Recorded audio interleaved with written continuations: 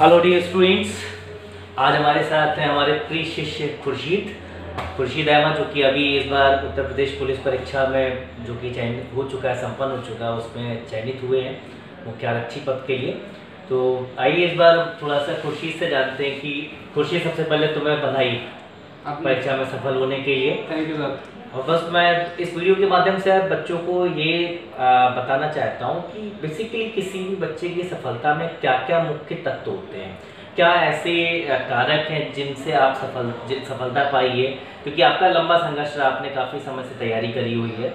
तो कुछ थोड़ा सा आप अपने बारे में बताओ बिल्कुल सर पहले तो मैं इस कोचिंग संस्थान को बधाई देना चाहता हूँ। बहुत बहुत सारी मेहनत की सर ने भी और भी टीचर ने सब लोगों ने सबको बधाई देना चाहता हूँ। और इसके पीछे भी बहुत सारी कहानी, छोटी सी कहानी भी है।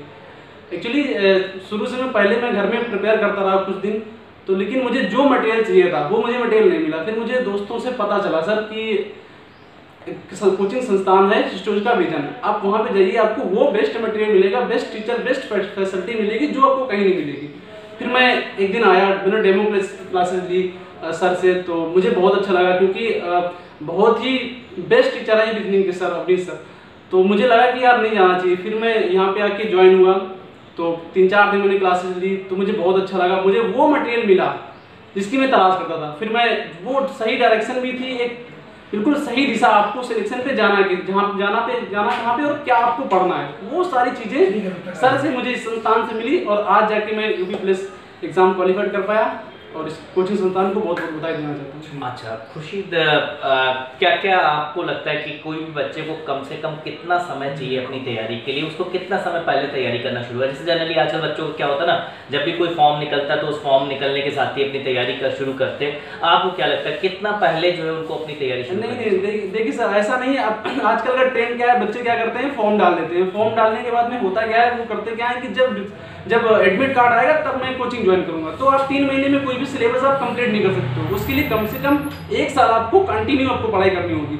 तब आप उस ट्रेंड पे पहुँच पाओगे। वो चीज़ आपको लगेगा कि नहीं, मैंने वाकई में कुछ ना कुछ हासिल किया है। और अगर आप ये सोच रहे हो तीन महीने में तो तीन महीने में आप कुछ नहीं कर सकते हो। आपको कम से कम एक साल तक आपको संस्थान में अपना देना है हंड्रेड परसेंट और जो टीचर जो सही दिशा दे दे बिल्कुल उसी को फॉलो करना है। आप बिल्कुल सफलता आपकी कदम चुनेगी कॉम्पिटेंसी आने में यानी समय लगता है। जनरली बच्चों का होता है ना कि वो फॉर्म निकलते तैयारी शुरू करते हैं। इस वजह से वो कॉम्पिटेंसी जो चाहिए वो कॉम्पिटेंसी का लेवल उस कम समय में ला नहीं पाते बिल्कुल प्रैक्टिस का कितना महत्व है? जैसे आपने बताया कि सर प्रैक्टिस सबसे बेस्ट चीज़ है समय। जैसे जनरली बच्चे मैथ्स पढ़ लिया रीजनिंग पढ़ लिया बट वो एग्ज़ाम्स में आने वाले सवाल उनके ट्रेंड के हिसाब से या विद इन टाइम बेसिकली ना चीज़ों को प्रिपेयर नहीं कर पाते। तो प्रैक्टिस कितना मैटर करती है? आपको जो यहाँ हिस्टोरिका से टेस्ट सीरीज़ वगैरह उपलब्ध कराई गई उसने कितना आपको सर बिल्कुल सर माइंड ब्लोइंग सारी टेस्ट सीरीज़ बिल्कुल माइंड ब्लोइंग थी। मतलब कहीं पर भी इतने संस्थान में मैं गया हूँ गया हूँ और देखा भी उनके टेस्ट सीरीज़ को अपने से मैच किया हूँ लेकिन जो डिफरेंट यहाँ का मैटर मतलब कि बहुत सारे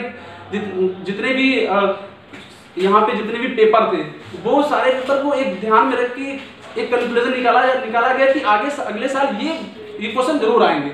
उसी को ध्यान में रखते हुए प्रैक्टिस बहुत इंपॉर्टेंट सर आपको आपकी जो कैपेसिटी है स्टेमिना होता है वो आपको पता चलता है कि आप कितना पहुँचे हो जाके। तो ये बहुत इंपॉर्टेंट सर अपने आप में। खुर्शीद आने वाले समय में तुम्हारी भविष्य की और क्या योजना है? क्योंकि एक अच्छे स्कॉलर हमेशा आगे बढ़ने की सोचते रहते हैं तो और आगे सर आप आगे वाले समय में सर मैं यूपीएससी सर चाहता हूँ कि यूपीएससी क्वालिफाइड करूँ। और बस जो भी बेस्ट मटेरियल है मैं यहाँ से आप मतलब कि डेली आप वैसे भी प्रोवाइड कराते रहे मटेरियल और उसी मटेरियल से मैं आगे भी कुछ भी कर सकता हूँ उसी मटेरियल को पढ़ के। जो बच्चे अभी तैयारी कर रहे हैं उनको क्या संदेश देना बिल्कुल मैं सजेशन देना चाहता हूँ कि अब जो भी पूरे आप सब जगह पता कर लो लेकिन जो मटेरियल जो अनुभवी टीचर आपको हिस्टोरिकल विजन मिलेंगे आपको कहीं नहीं मिलेंगे। सारे बच्चों की मैं ये कहना चाहता हूँ कि अब एक बार आके देखिए। अच्छा तो आप ये मतलब रियलाइज़ करते हैं कि किसी बच्चे की सफलता में कोचिंग संस्थानों का बिल्कुल सर बहुत बड़ा हाथ होता है जो रिगुलटी होती है क्योंकि टीचर अपने आप में वो खुद जाके 20 घंटे 20 घंटे उस चीज़ को लेकिन किसी भी कोचिंग संस्थान का अगर चयन करना तो आज के टाइम में बहुत सारे संस्थान है तो कैसे आपको एक अच्छे संस्थान का चयन आप सर आप देखो उसका बैकग्राउंड देखो कि कितने कितने कितने बच्चे सिलेक्ट हो रहे हैं और कहाँ कहाँ पे जा रहे हैं। आप जब पता करके देखो जाएगी और कौन कौन से टीचर आपको पढ़ा रहे हैं वो अनुभवी टीचर आपको मिलेंगे जो रियल में उनके पास में तीन तीन चार चार जॉबें पड़ी हुई लेकिन वो नहीं गए करने। ताकि बच्चों का भविष्य भविष्य बनता रहे। जैसे हमारे हमारे एक मनीष सर हैं, उनका भी अपने आप में बहुत बड़ा ट्रेंड है। मतलब देखा जाए तो अपने आप में माहिर है किसी भी मतलब मैथ में तो आप ये समझ लो, वो जो फंडा बताते हैं, वो बिल्कुल परफेक्ट होता है। जैसे सर आप आप आप पढ़ाते हैं सर तो मतलब आपका भी माइंड ब्लोइंग मतलब कुछ भी वो मतलब बिल्कुल एक शॉर्ट में बताने का तरीका एक बेसिक से भी बता देते हैं इसके बाद में शॉर्ट में किस मतलब कम समय में उस क्वेश्चन को कैसे सॉल्व किया जाए? ये फंडा जैसे आपके बैच में स्पेशली हमने देखा कि वही बच्चे सेलेक्ट हुए जो बच्चों ने लॉन्ग ट्रेन से करीब करीब साल डेढ़ साल से पढ़ाई कर रहे थे। बिल्कुल सर। और जो थोड़ा सा आ, एक तरीके से ना बिल्कुल जुझारूपन के साथ जोश के साथ लगे हुए थे कि नहीं मेरे को एग्ज़ाम क्रैक करना। वही बच्चे निकले शिवम अवस्थी निकला श्रेया निकला निकले। तो इन बच्चों का आपका जो बैकग्राउंड है उनका पीछे का जो पढ़ाई का ट्रेंड है वो थोड़ा बेहतर रहा।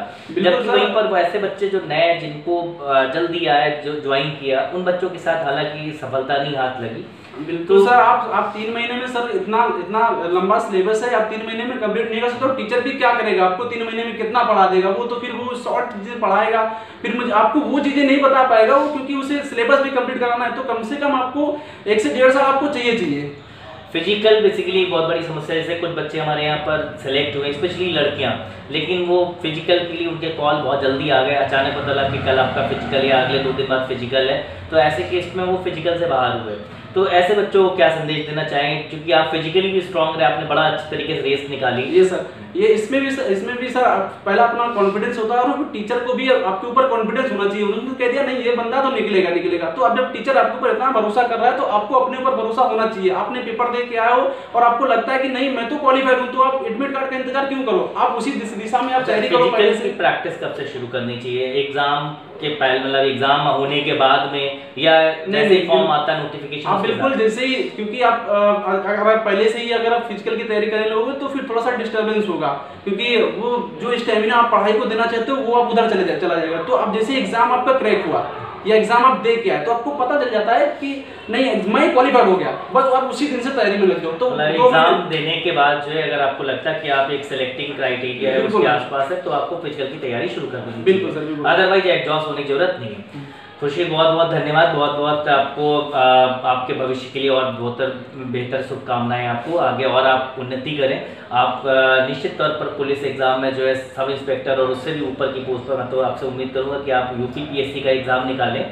और मेरी तरफ़ से मैं भी आपका प्रसन्नचित हूँ कि बच्चे नाम रोशन कर रहे हैं और उसका क्रेडिट भी मुझको दे रहे हैं। बिल्कुल सर। लेकिन इसमें मेरे से ज़्यादा क्रेडिट आपको जाता है आपने मेहनत करी हुई है।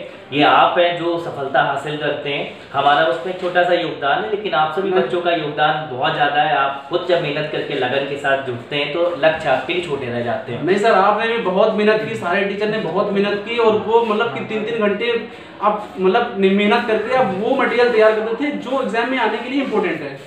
तो सर, आपको भी सर बहुत बहुत सर बधाई, क्योंकि thank you very much thank you Khurshid